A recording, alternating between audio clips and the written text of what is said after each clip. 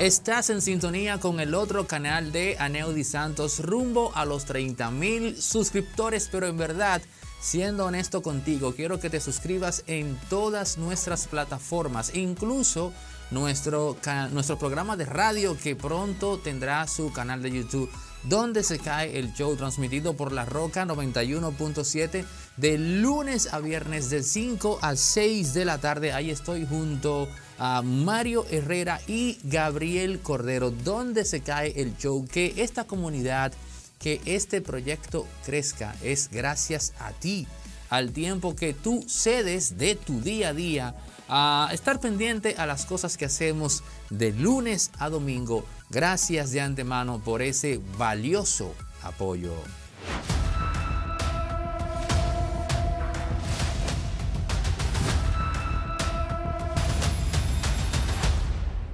Yo quiero compartir un video muy breve con ustedes.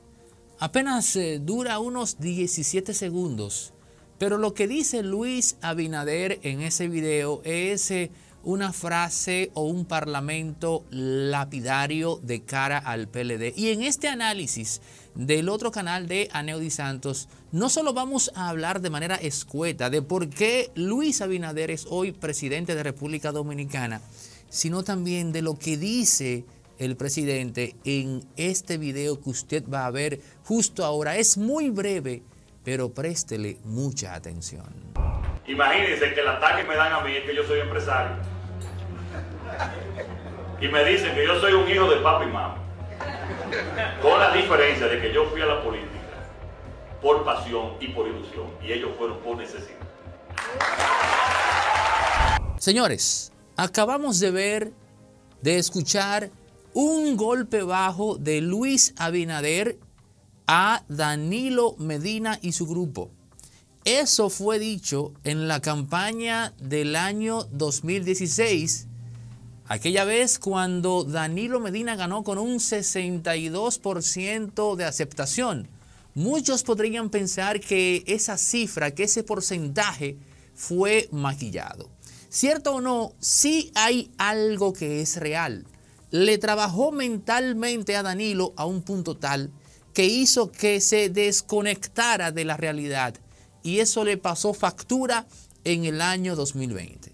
Ahora, vamos a lo que dice Luis Abinader en ese parlamento y analizarlo de manera minuciosa.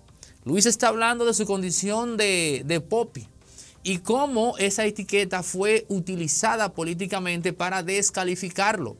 Pero dice que en su condición de popi, o de ser un muchacho acomodado de clase media alta que nunca tuvo la necesidad de ver la política como un trampolín social, no solo para ganar dinero, sino también para tener o obtener más bien estatus social.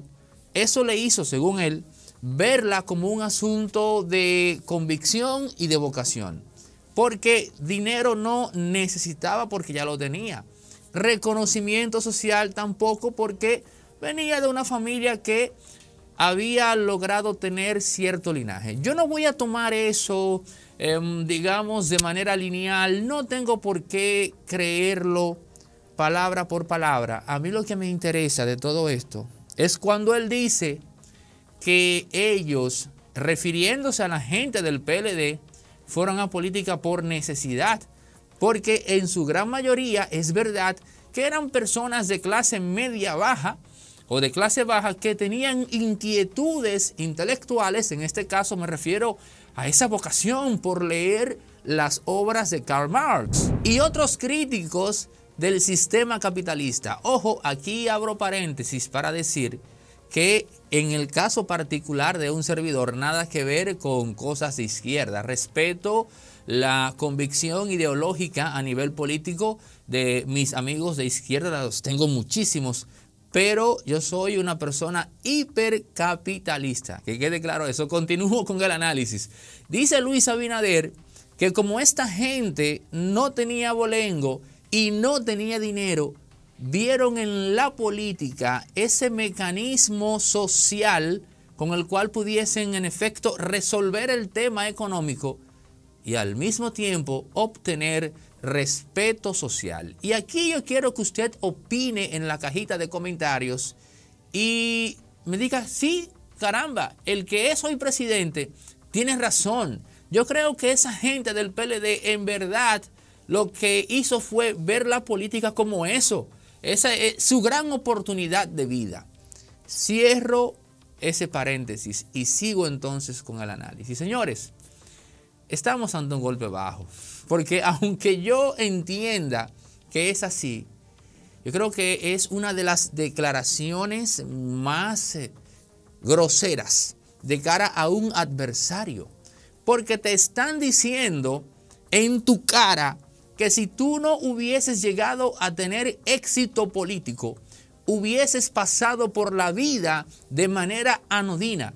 Nadie hubiese sabido de ti más allá de tus familiares y amigos más cercanos. Y me estoy refiriendo a Danilo Medina e incluso quizás al mismísimo Leonel Fernández. Yo creo que en la campaña del 2020 Luis Abinader no hubiese dicho eso porque, caramba, Luis con esa declaración pasó al ámbito de lo personal. Es verdad que salvo Euclides Gutiérrez Félix, la gran mayoría de esos nombres célebres hoy día del PLD, para bien o para mal, era gente que no tenía dos pesos. Pero peor que eso, era persona o personas, eran personas que no desarrollaron la habilidad de hacer dinero en un contexto capitalista, de no ser a través del Estado. Muchos de esos miembros del comité político que usted está viendo ahí, salvo Euclides que heredó, heredó porque el papá de él era pudiente en la época de Trujillo, pero fuera de ahí, el mismísimo Danilo Medina no sabe cómo hacer dinero si no es a través del Estado. Y es ese elemento, señores, ese es el elemento de perdición histórica de cara al cáncer del PLD. Y aquí viene la revelación del capítulo. ¿Por qué es ese el elemento de perdición? Porque como ellos no sabían hacer dinero, a no ser estando conectado a través del Estado, se les hizo imposible concebir la idea o realidad de que podían vivir no estando en el poder.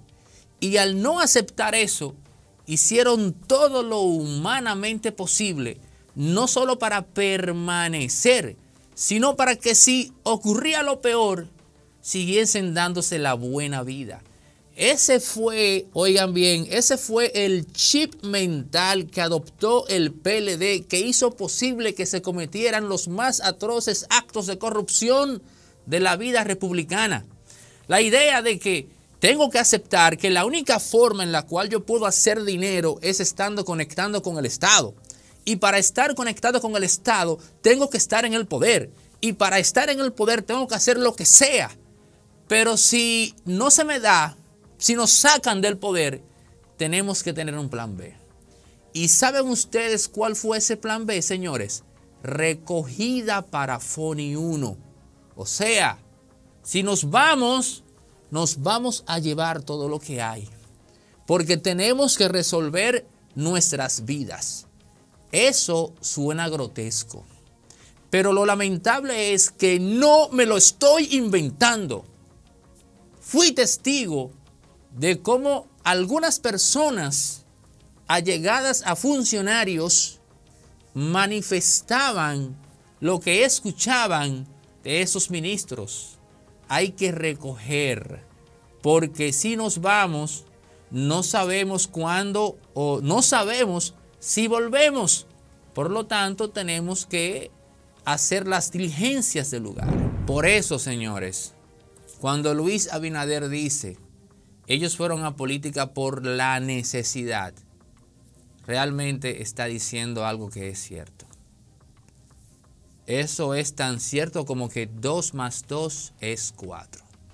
Pero también es importante que nosotros eh, fragmentemos, hagamos una radiografía de ese esquema mental que operó a nivel colectivo para hacer que en el PLD se diese un comportamiento que moralmente era criticable, pero a pesar de ello, pudieron llevarlo a cabo sin sentir evidentemente el más mínimo, eh, digamos, el más mínimo resquemor de cargo de conciencia. Vamos a llamar a este tipo de análisis, análisis psicopolíticos, porque lo que operó ahí, aunque hay un elemento económico y de poder, lo que operó fue algo que se estructuró en la psique de esos elementos y los llevó a cometer esos hechos que todo aquel que estaba fuera del poder y los divisaba, se decía, pero ¿y a ese nivel el asunto? ¿Y a ese nivel es la cosa? Pero siempre nos quedamos cortos de imaginación cada vez que salía un nuevo escándalo. Yo espero honestamente que este análisis haya servido para ilustrar el esqueleto, por así decir, de la corrupción en República Dominicana. No, más bien la esencia misma del quehacer corruptivo en la política de nuestro país.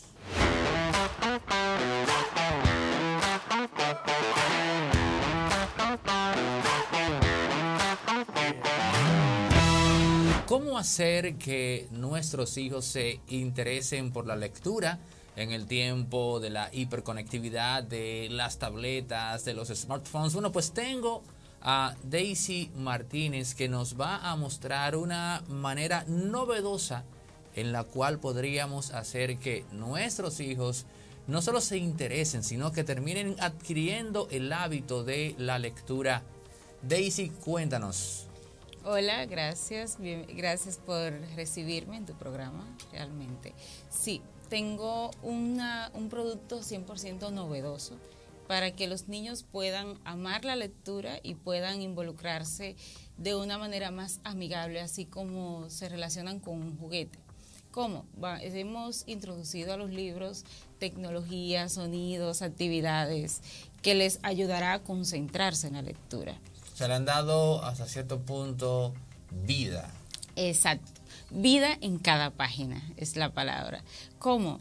Buscamos la manera de que al momento de un niño involucrarse con el libro pueda accionar la página, ver movimientos, escuchar sonidos, escribir, borrar y conservar su libro como nuevo, con baterías, con ciertas tecnologías que nos ayudan a mantenerlos así. Tienes una muestra ahí, vamos a ver para que la gente pueda apreciar exactamente de qué estamos hablando, pero también quiénes son los responsables de, traer esta forma novedosa de lectura a nuestro país. Claro, te traje una muestra realmente. Lexus Editores es el responsable de traer estos libros bajo nuestro propio sello, que es el sello Lexus. Lexus es una corporación que es, es de algún país de Sudamérica. Sí, Lexus es peruana. Yo juraba inicialmente que eran de Colombia. Lo que pasa es que estamos en diferentes países, de hecho en 12 países. En República Dominicana me toca a mí atender esta casa, con todo el orgullo y todo el honor que, claro, se merece la marca. Muéstrame el libro y vamos a ver qué es lo que tenemos exactamente, porque en verdad desconocía esto. Claro, mira, este libro es como una especie de tablet donde lo encendemos aquí. Lo dice juegos mentales ahí. Sí. Porque a través de este libro vamos a trabajar diferentes habilidades que el niño va a ir desarrollando con los juegos que va a estar, que tiene este libro. Cada página tiene diferentes movilidades y se enciende acá. Ok, todas las páginas se encienden ahí arriba. Cada página tiene dónde está la estrella, que al momento de nuestros niños seleccionar, encontrar, está trabajando con la asociación. Entonces puede identificar, ayudar a pronunciar, este, va a jugar, porque para ellos es un juguete. El tipo de página le permite borrar, le permite limpiarla si se ensucia, porque es para pequeños. Pueden estar comiendo. Eso te iba a preguntar, eh, la edad. Si tienen libros, aunque son para niños, si los tienen segmentados de libros para niños de 1 a 2 años, de 2 a 5, de 5 a 7, etcétera. Sí, partiendo de 0 a 3, a 3 meses, luego de 4 a 8 meses. a partir de un año, tres años. Cada libro tiene una limitación de la edad por el tipo de piezas que pudiera contener. Cuando la gente va, o sea, ¿dónde la gente puede eh, adquirir este tipo de libros? En nuestra librería. Tenemos dos librerías infantiles 100% dedicadas para los niños. Una está en Ágora y otra está en Sanville. Se llaman Lexus Kid. ¿Desde cuándo están en Ágora Mall? En Ágora Mall acabamos de cumplir un año. En Sanville tenemos como un año y seis meses. Estamos en el piso 2 de Ágora Mall, en la entrada que está próximo al supermercado Jumbo. Y en Sanville estamos en el nivel galería. ¿Tienes algo más ahí? ¿Qué es eso que tienes ahí? Te traje unas pizarras mágicas. ¿Por qué mágica? Pizarras mágicas. Pizarras mágicas. Es un libro. Vamos a ver. Con un formato muy tradicional, ¿verdad? Pero lo mágico de este es que contiene un lápiz que el, bebé puede escribir en cualquier área, se puede borrar y se queda intacto. Pero veo que ese lápiz es de tinta, imagino que esa tinta se agota y que tendrá que estar cada dos meses, tres meses comprando este lápiz. ¿O cómo es el asunto? Sí, eh, lo bueno es que cuando se agota el lápiz lo puede conseguir en cualquier parte de este país, porque es un lápiz de agua, marcador de agua común que se utiliza en las pizarras. Lo que no se puede perder entonces es la borra. De hecho, sí se puede perder la borra. ¿Por qué? Porque yo lo puedo borrar con mi dedo y mi dedo queda intacto. Ok. ¿Y qué temáticas se abordan en este tipo de libro con pizarra mágica? Mira, con este tipo de libro vamos a trabajar lo que es la introducción temprana a la lectura y a la lectoescritura. ¿Cómo? Nuestros niños van a empezar a trabajar con los trazos, a aprender a practicar sus primeras palabras, a escribirlas, a leerlas, sin el miedo de equivocarse. ¿Por qué? Porque pueden borrar, pueden este, corregir, practicar cuantas veces quieran y su libro va a quedar ahí intacto. No es lo mismo, se llena tu cuaderno y ya tiene que comprar otro cuaderno o simplemente papá y mamá vieron que me equivoqué o simplemente no quiero mostrar un error que cometí. Aquí te permite no solo equivocarte, sino que puedes seguir practicando de modo que podamos ir perfeccionando la lectura. Sabes que en la edad temprana es bien difícil el proceso de aprendizaje. Una última pregunta. ¿No tienen ustedes algún clásico de la literatura infantil en ese, en ese formato? O libros que, que les recomiendan a uno leer desde que tiene sus 7, 10 años de edad. Mira, Lexus se ha enfocado toda la vida en libros propios de la marca no en la literatura tradicional. Ok, no literatura tipo ya, eh, por un lado quizás eh, clásica o libros que ya se han trabajado o impreso en otras editoriales. Sí, eh, Lexus ha hecho ciertos, ciertas introducciones de una que otra literatura. Por ejemplo, tenemos una colección completa de, de Julio Verne, ah, que lo busca muchísimo realmente y se vende muy bien. También tenemos otras literaturas como El Principito. Ah. Pero son poquitas las literaturas que vamos introduciendo. Bueno, gracias por tu, digamos, hablarnos, ponernos al tanto de esta forma ciertamente novedosa de trabajar el tema de la literatura, hacer que los niños se interesen y no solo eso, sino también que aprendan de manera lúdica en el proceso, porque veo que hay un elemento ahí como de diversión que puede hacer que le quede a los niños la impronta de que leer es algo divertido. Gracias Daisy por tu participación y esperamos que estos libros estén o que ustedes busquen la forma de que la gente pueda adquirirlo no solamente visitando los locales de Lexus en Águara y Sanville, como dices. No, de hecho puede visitar nuestra página web y nosotros le llevamos el libro. La página web sería ¿cómo lexuseditores.com.do. lexuseditores.com.do. Exacto, es una tienda 100% virtual donde puede comprar sus libros igualitos que lo compraría en cualquier. Muy buena idea. Suerte Daisy con Lexus en República Dominicana. Muchas gracias. Gracias a ti por la invitación también.